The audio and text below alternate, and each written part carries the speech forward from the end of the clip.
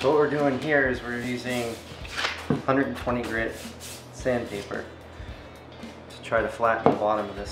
You want to do this on a, a surface that you know is really flat. This surface should work fine. I'm going to hold down evenly. I'm not going to hold the handles. I'm going to just hold down.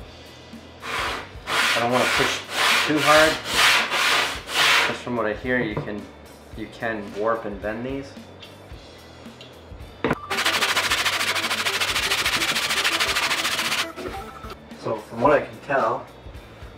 Initially there's a little bit of a, oh, not a little bit, there's a pretty good dip down in the front that we're gonna have to work out and I, we gotta work this down quite a bit more to see what we have.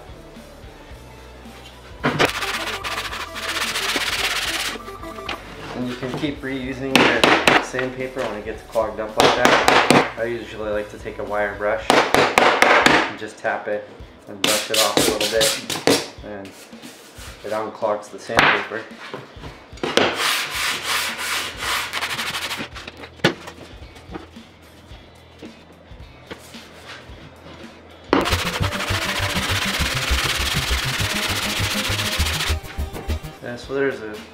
Good little dip in the front. And again, I don't even know what we have back here. I'm gonna put a new piece of sandpaper down. If you wanna make sure the surface you have is as flat and clear of any debris as possible.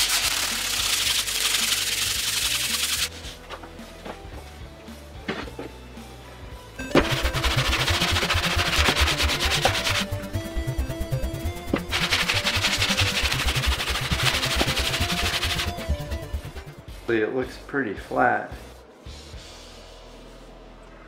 That little cup that was in here came out. And this pitting is not going to go away 100%. It's not going to look a lot better than that. So what I need to do is look at the surface to make sure I'm taking it off and it's coming out flat. So I think even with that pitting, it's still going to be a usable tool.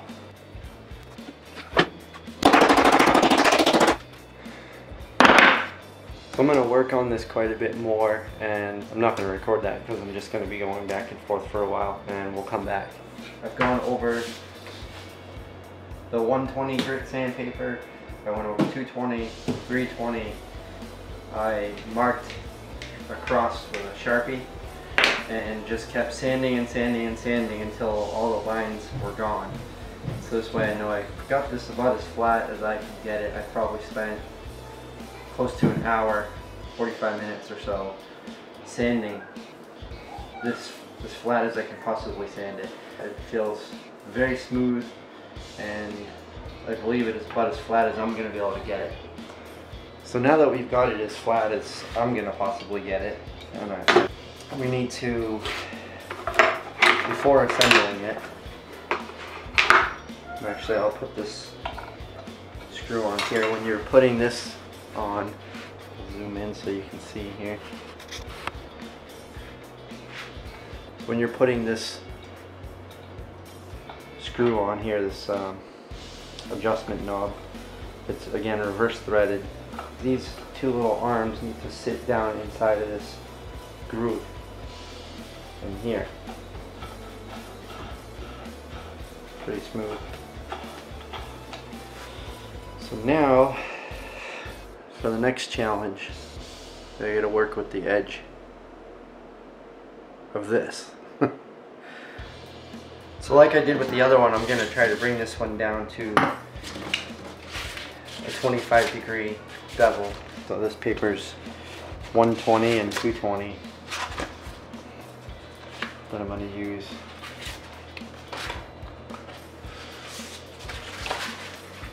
So at least get the uh, chips out of it.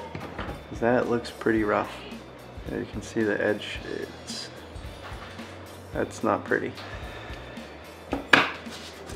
So to set up this hone guide, the way it's going to work is this is going to sit like this, the blade's going to sit in it like this, and you want the bevel down. So I'm going to put it in here and just slightly finger tight get it to where I think it's going to be roughly 25 degrees. and then check it. And then adjust as needed. So you're gonna check your angle off of this wheel and off the edge of the, the tip of the iron. Because these are the two points that are gonna touch the sandpaper. I have about 27 degrees and I want 25 degrees. I need to slide it up.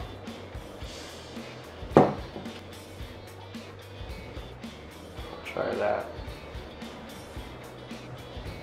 Nice thing about using a honing guide is you can be sure you're keeping your angle the entire time. And also because it's squeezing flat against the sides of the iron you can also be sure that the front edge and the bevel are all going to be square and flat along with the sides so it's all going to be perpendicular as it should be.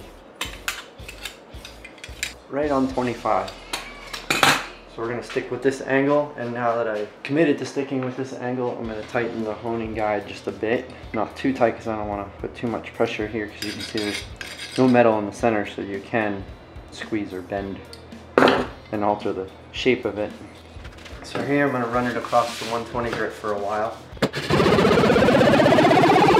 This front bevel here is jagged and I want to sand this down so this whole edge is 25 degrees, this whole bevel. So I'm to do that now. This is to take a while. So I'm just to do that off camera. There's no need for you to have to watch me do this. It's probably to take me 20 minutes or so. So I'm to do that and I'll be back.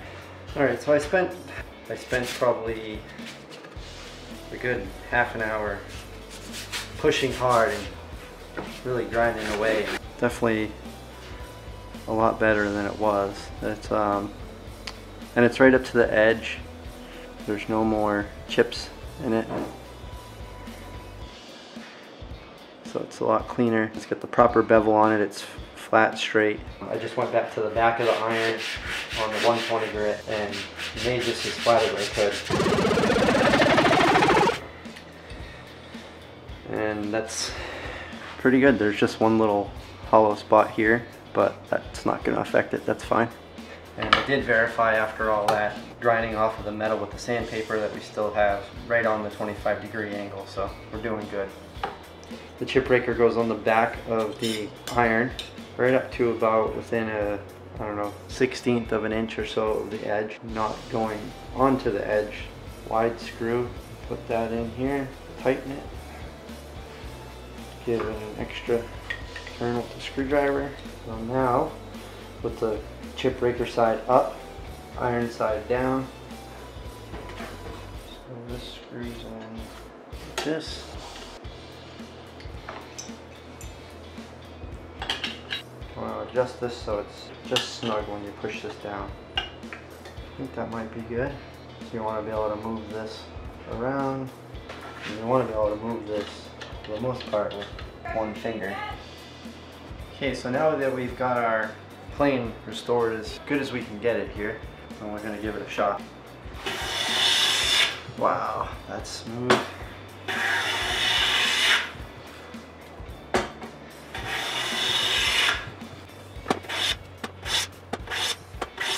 Wow, that works great. So we got these two restored Stanley planes working very good. So thank you for watching. I hope you enjoyed this video. If you did, please hit the like button below. If you want to see more of my videos in the future and be notified of them, hit the subscribe button, hit the bell next to that, and you will be notified when I release new videos. Thank you. Take care.